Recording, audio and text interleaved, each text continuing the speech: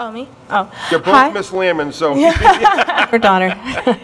Uh, my name is Sofia Tulamin. I am the Services Director at Rhode- Rhode Island Right to Life, um, and I oppose this bill um, for several reasons. Um, I would like to point out a lot of people didn't really want to um, specify what necessarily the safeguards were for this bill.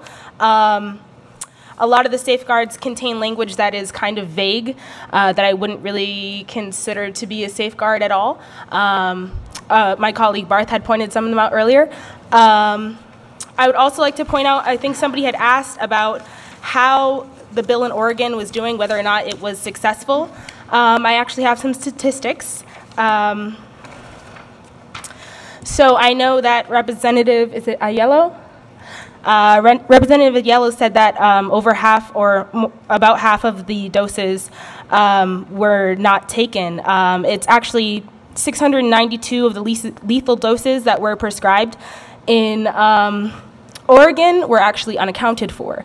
Um, I personally don't find this safe in the least. Um, perhaps maybe that they didn't take them is good, but the fact that they don't know where they went is not. Um, I would also like to say that I oppose this bill for personal reasons. Um, one of them being that my grandmother struggled with cancer for about eight and a half years. She died about a year and a half ago. Um, and I was there to um, be with her and spend time with her before her death. She was able to meet my son just days before she died. Um, and the time that I spent with her, even the time that she was in pain or on morphine, was not any less valuable to me than the time that she was not sick. Um, I also work with disabled, developmentally disabled um, population. I'm sorry, I thought I dropped something.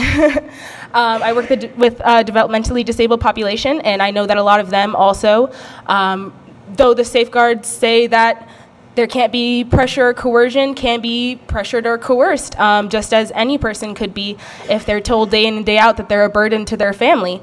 Um, and I genuinely believe that this bill itself um, not only devalues the lives of those who may partake in it, but it is directly and inherently violent towards any person who we deem as a burden to ourselves or others who may believe that themselves. And I also genuinely. Oh, okay, sorry, thank you. Thank you very for your much. time. Any que- questions of this witness?